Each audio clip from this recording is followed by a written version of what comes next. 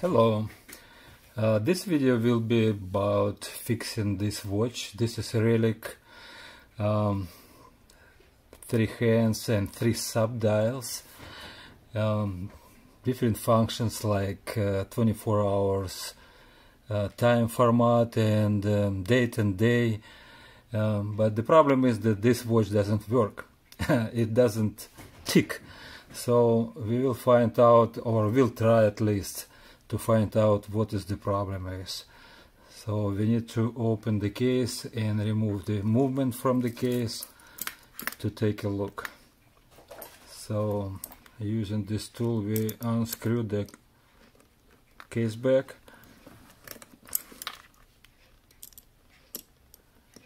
case back is very tight screwed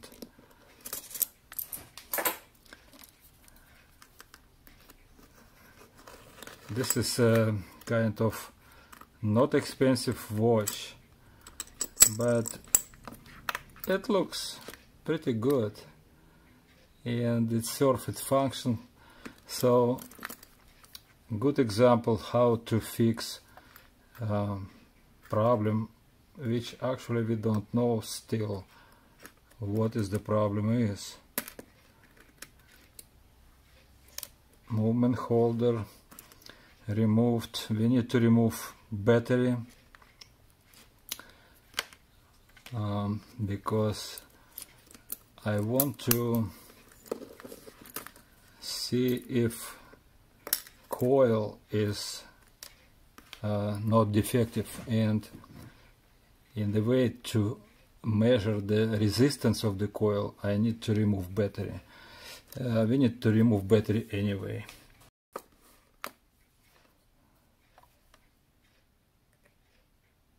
and we put measurement here.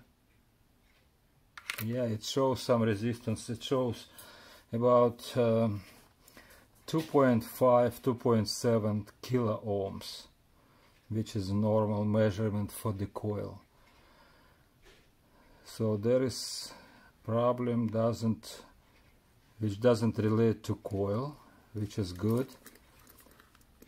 And probably it's mechanical problem so we will go to disassemble this movement to see if something broken inside. There are three screws.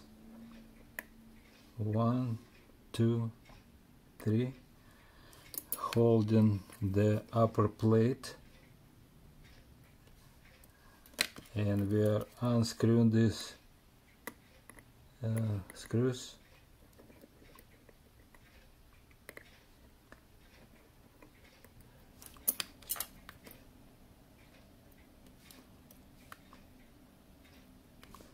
And now we can remove this. We need to lift some there are some pin holding the movement also over here. And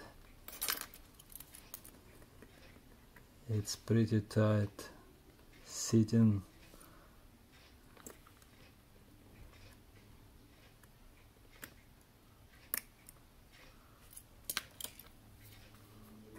and over here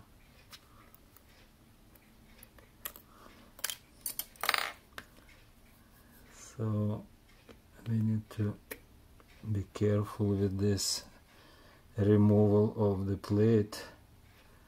And we can see there is water damage. Looks like electronic board is at least it has signs of water coming inside of the watch at some time some time before um, probably somebody really wanted to check this watch on the water. Um, and there is some sealing which didn't work well and water came inside of the watch. Uh, so I'm going to replace this board with, because it is pretty much suspected. Yeah on this side we can see also some rust and it could be the board is defective. So I have spare moment which I will use to get another electronic board from here. The same way I will remove the upper plate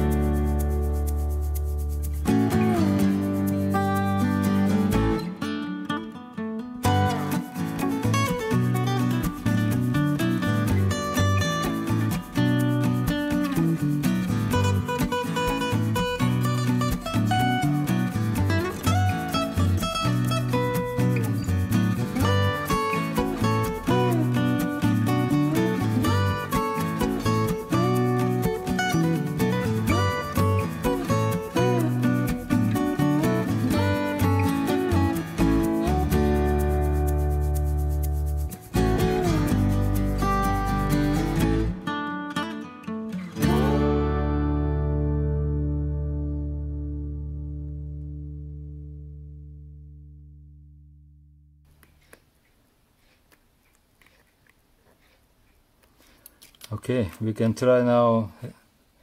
We will put battery back and we will see if this fixed the problem. Yeah it fixed problem. It was electronic board which was responsible for this problem. Uh, watch didn't work at all. Of course there was no electronics control of the movement now it works fine. So that was the problem. And um, yeah. Thank you for watching and I'll try to find uh, what to show in the next video. Uh, there are some problems always happening to the watches. Different problems. And I will try to cover them in my videos. Thank you again. Bye